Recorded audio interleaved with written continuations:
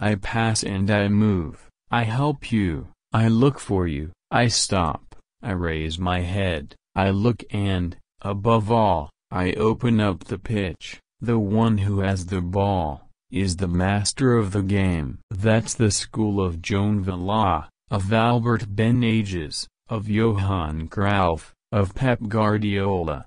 I'd love to be faster. Physically I'm limited, but I've survived by using my head. Some teams can't or don't pass the ball. What are you playing for?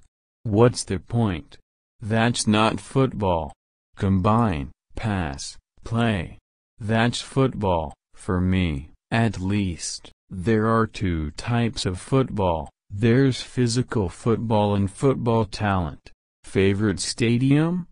I have good memories of my CL debut at Old Trafford, spectacular atmosphere. The theater of dreams, as they say. In football, the result is an imposter. You can do things really, really well but not win. There's something greater than the result, more lasting, a legacy. In the last 15 to 20 years the best central midfielder that I have seen, the most complete, is Scholes. In the last 15 to 20 years the best central midfielder that I have seen, the most complete, is Scholes.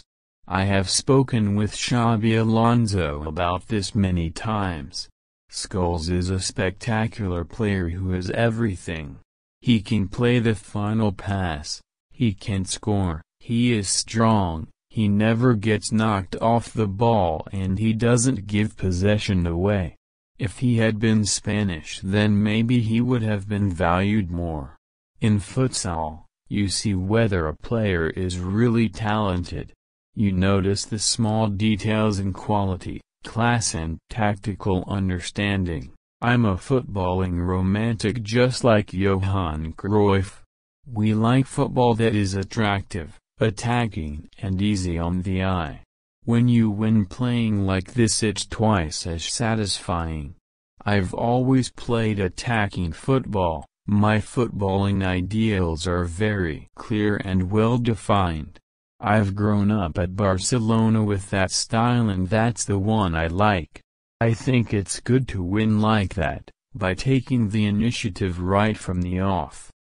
Maybe one small regret is that I never got to play with Paul Scholes, but I was never going to leave Barcelona and he was never going to leave Manchester United. In England, footballers are respected more, the game is more noble, there's less cheating. Every Spaniard who goes loves it, and comes back a better player. If I had ever left it would have been to England.